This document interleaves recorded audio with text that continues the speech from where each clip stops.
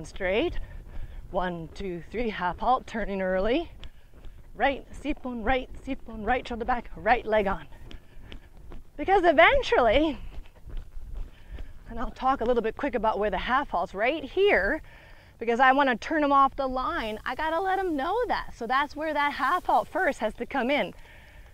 And so then it's again, then it's a half halt of now we're going to yield. And then it's a yield over, yield over, yield over. Now I'm going to half halt again because again, we're always supposed to make a half halt before anything new. And so if I was leg yielding and I'm going to go straight, that's new information for the horse to listen to. So I have to apply that half halt again to stop the leg yield. Now I'm approaching my circle point and I'm gonna go straight. So now I need the half halt. I'm gonna ride straight three steps. I'm gonna half halt again because now I'm gonna turn to the new direction. Now I'm gonna half halt again because now I'm turning on the line away, you know, two meters in from my, from my track. And I'm gonna leg yield over again using, you know, it can be a little bit of a seat bone yield, it can be a little bit of a leg yield, I use all of my aids a little bit together. That like, yes, I want the horse responsive to my calf, but I really want him on my thought. And my thought is a bit more uh, in my body and in my weight. So again, I've stopped the leg yield, so now I half halt again. I'm riding straight, half halt. I'm gonna get a new bend, half halt.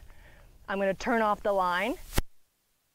I'm gonna do my leg yield, do my leg yield, do my leg yield. I'm gonna half halt because now I'm stopping my leg yield. And now I'm just gonna let him uh, smoothly cruise over to C. Okay, I'm gonna do it one more time in the trot. Right hind, right half halt, yield. Good, yielding, half halt because I stopped yielding. Half halt because I'm gonna stop bending. Half halt, I'm straight. Half halt, I'm bending new. Half halt, I'm turning in. And it's really just this like, hey buddy, are you with me? Good, half halt.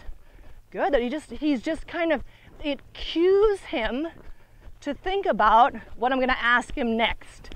Right? So it's not just like I'm riding around like this and I'm like, oh yeah, and turn. You know what I mean? Like that becomes like so abrupt and like not only abrupt, but it's going to throw him off balance.